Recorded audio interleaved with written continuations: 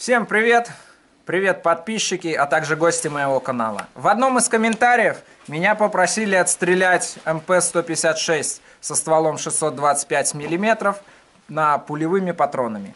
Для того, чтобы обзор был более полный и более качественный, мы сегодня постреляем пуля Полева 3, пуля Гуаланди, постреляем пуля Бренеки и постреляем пуля Гризли.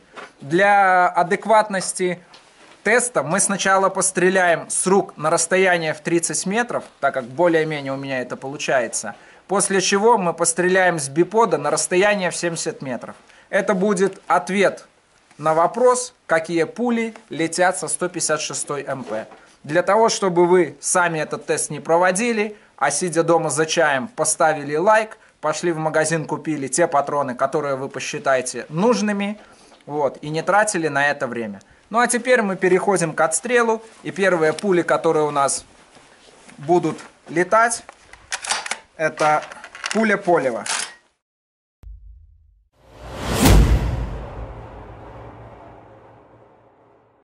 Если кому интересно с Беларуси, где мы делаем эти отстрелы, это Смолевический район, деревня Каменка. Здесь тир скоро будет приведен в надлежащий вид. Уже сделали навес.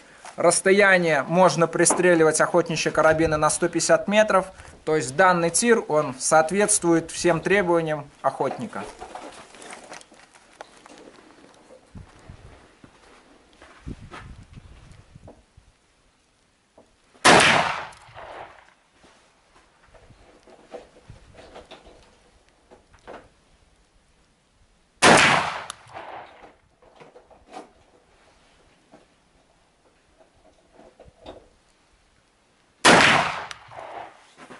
Идем к мишени, посмотрим, какую группу мы смогли собрать пулями Полева 3 со ствола длиной 625 миллиметров.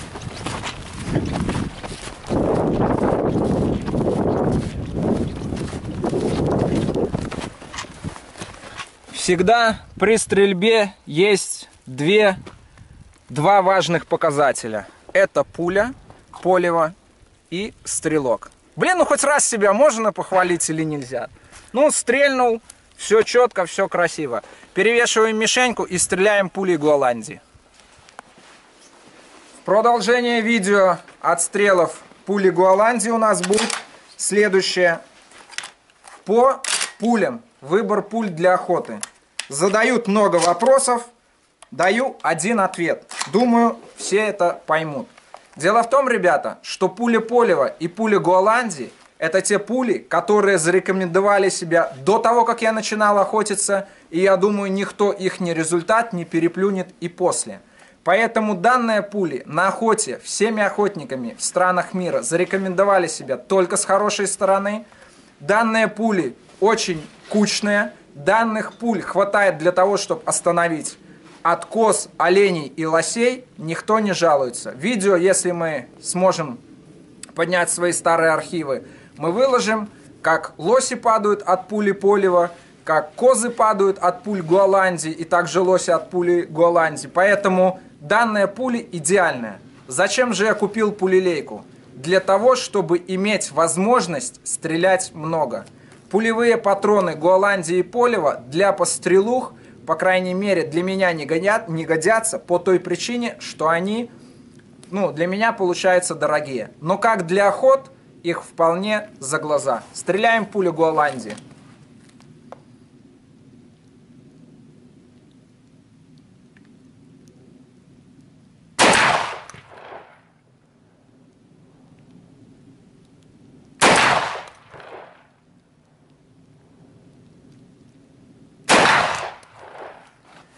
Идем смотреть группу, которую мы смогли делать пулей Голландии. Конечно же, все эти тесты, которые мы делаем с рук, они являются, не являются показателем качества пуль, вот, но они являются показателем качества стрелка. Э, данная группа, ну, естественно, это не пуля виновата, это виноват я, но как показала стрельба, что данные патроны вполне подходят для охот. Третий заход пулевой стрельбы – это пули Бреннеке. Стреляем также со ствола 625 миллиметров. Смотрим, что данные патроны смогут нам показать на расстояние в 30 метров. Э, пуля заводская СКМ индустрия. В принципе, все пули, которые мы использовали, они были СКМ индустрия.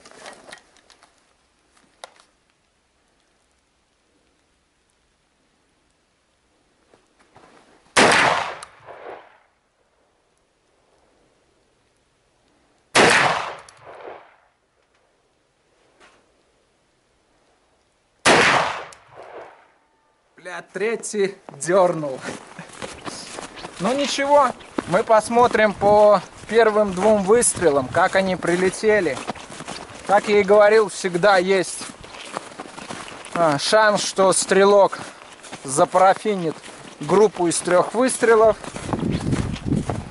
Вот. Но у нас есть две пробоины и одна, одна оторвала. То есть Данная пуля показала себя очень хорошо. Также в магазине были патроны, предназначенные для парадокса.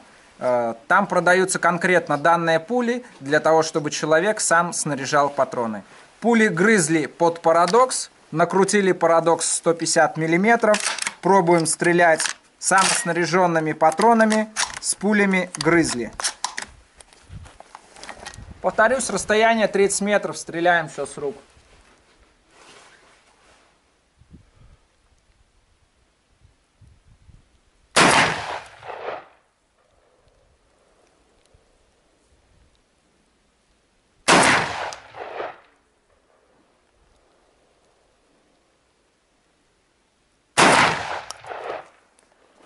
Пули грызли, отстреляли 30 метров.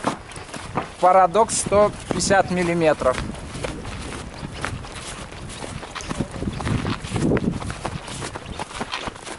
Как мы видим, данные пули полетели неплохо. Это пули грызли. Повторюсь, это не заводской патрон. Данные патроны мы собирали сами. Но комплектующие мы покупали в магазине. То есть все для комплектации там продается.